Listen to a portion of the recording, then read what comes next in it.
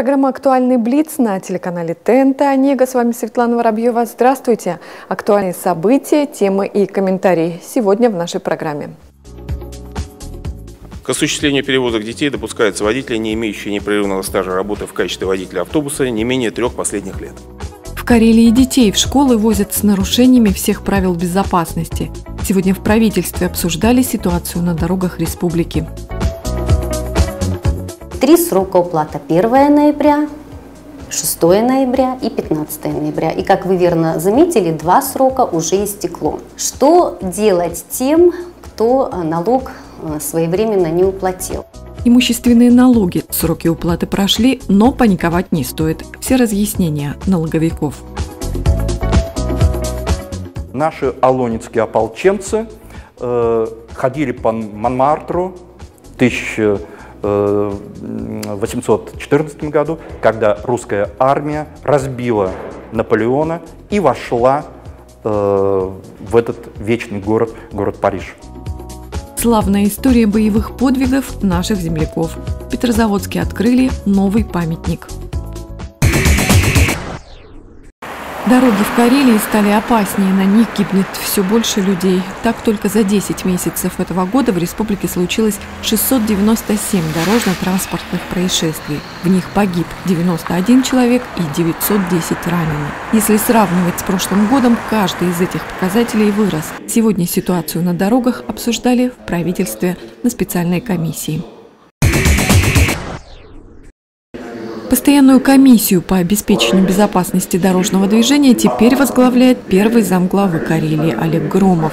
Сегодня обсуждали ситуацию на дорогах в целом и безопасность детей в частности. Как они осваивают правила дорожного движения, в каких условиях они добираются из отдаленных поселков в школы, а также кто и на каких машинах возит учеников. Оказалась информация заместителя министра образования Геннадия Сараева и представителя управления государственного автодорожного надзора Владимира Молоденского Зеленского прямо противоположны. У первого все гладко, а у второго сплошные нарушения.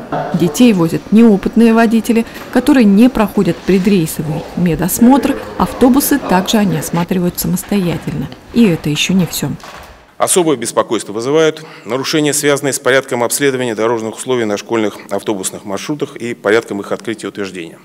Так, без проведения обследования дорожных условий распоряжением главы администрации Питкиранского муниципального района от 6.09.11 за номером 121 были утверждены открытые регулярные школьные автобусы а, маршрута поселка Сяльме, Яймеля и Харлу Йенсен-Ярове.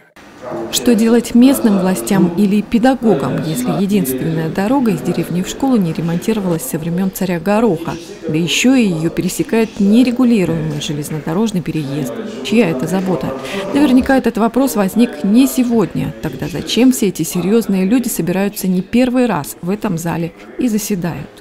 По данному направлению, я бы сказал, даже не вопросу, там вопросов много, правительственной комиссии по обеспечению дорожного движения Республики Карелия существенных положительных изменений в обеспечении безопасности перевозок школьников в 2012 году не произошло. Олег Юрьевич, как вы ранее заметили, порой решения правительственной комиссии по обеспечению безопасности дорожного движения выполняются не в полном объеме. Чтобы начать выполнять решение комиссии, Юрий Громов сегодня выступил с предложением найти всех собственников нерегулируемых железнодорожных переездов и попытаться совместно сделать их современными и безопасными. Сроки выполнения определял жестко, спрашивать обещал строго, также и по всем остальным проблемам. В ноябре истекают сроки уплаты имущественных налогов для жителей Петрозаводска. О том, что делать тому, кто не оплатил по каким-то причинам налоги и как не стать должником в будущем. Об этом нам рассказали в налоговой инспекции города. На самом деле в этом году очень много граждан обращалось э, с просьбой о том, что не получили уведомления на уплату налога. Уведомления на уплату налога э, мы рассылать начинаем где-то с лета, с августа, и они уходят на почту, и почта их должна рассылать именно заказными письмами. Многие просто не получают вот эти квиточки, кто-то на даче, где-то это теряется, и люди действительно уведомления не получили. В этом случае можно самим к нам прийти в инспекцию, было получить эти уведомления. И мы три недели вот перед 1 ноября работали в таком усиленном режиме. К нам приходило очень много людей, которые не получили уведомления. Но и сейчас, поскольку все-таки мы живем в 21 веке, мы э, призываем людей пользоваться электронными сервисами, которые налоговая служба очень активно продвигает. Вот, э, чтобы не ходить в налоговую инспекцию за уведомлением, можно зарегистрироваться в личном кабинете, получить пароль и, э, в общем-то, иметь возможность распечатать квитанцию прямо э, через интернет-сервис. Вот личный кабинет налогоплательщика, он э, расположен на сайте управления Федеральной налоговой службы по Республике Карелия.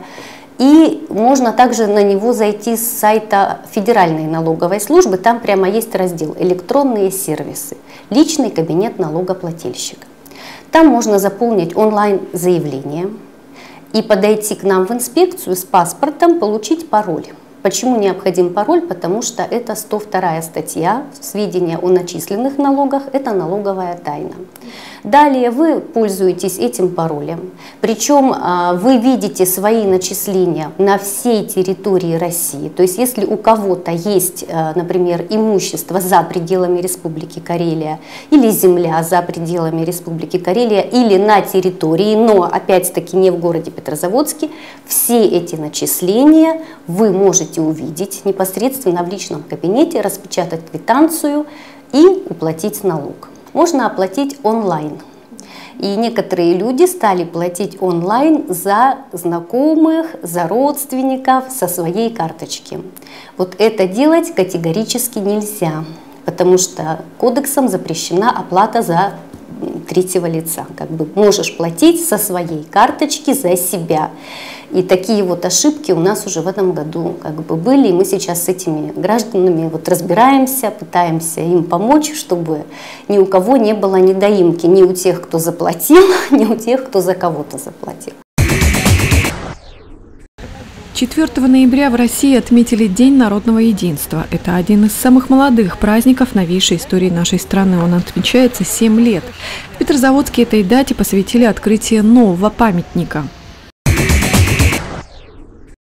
как везде заявлялось, этот памятник – дань памяти алунецким ополченцам, которые участвовали в Отечественной войне 1812 года. Однако надпись на монументе гласит «Верным сынам Отечества, воинам алунецких полков и народных ополчений русской армии 1698-1920 году».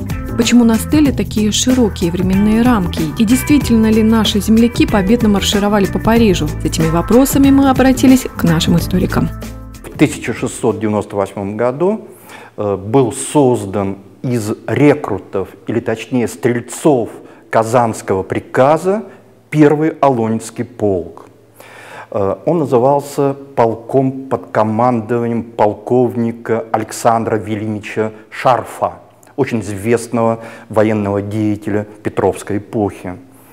И э, этот полк, э, повторюсь, был сформирован не из жителей Алони, Алонии нашего края, но тем не менее он вошел в историю, потому что участвовал э, в различных военных событиях.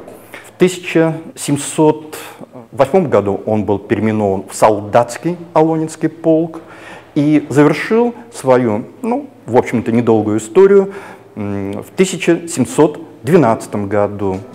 Затем в истории Алунинского полка пауза длиной в 100 лет, и потом снова продолжение летописи, которую историки без стеснения называют любопытной и феноменальной, потому как полк сыграл большую роль во многих исторических сражениях. И одна из страниц – это действительно участие в Отечественной войне 1812 года.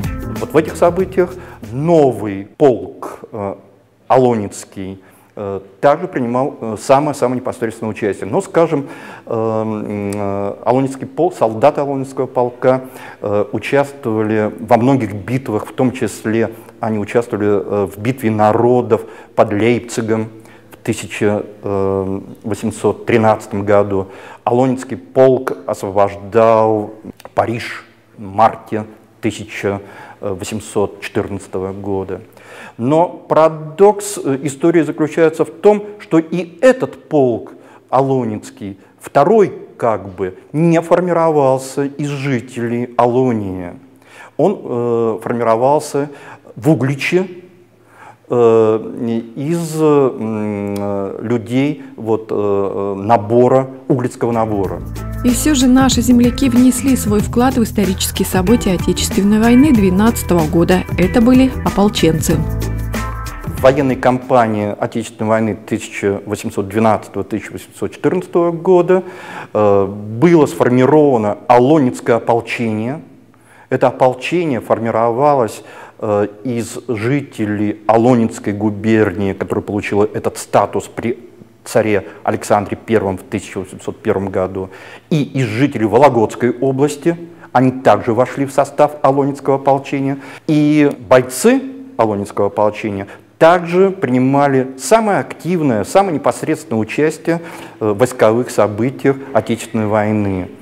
Они также э, участвовали в крупнейших э, событиях, в том числе они освобождали Дрезден, они принимали участие в битве народов в 1813 году.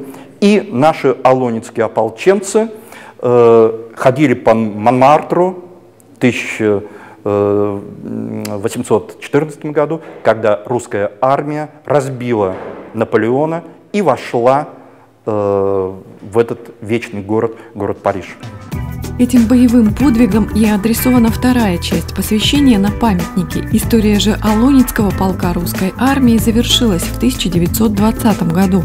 Правда, у исследователей есть еще один факт.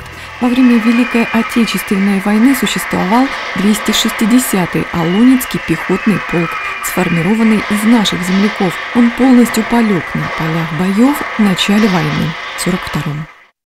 Что касается нового памятника, история его появления достаточно интересна, и об этом в наших следующих передачах. Это был актуальный Блиц. Смотрите нас также на сайте tntdefisanega.ru. Увидимся.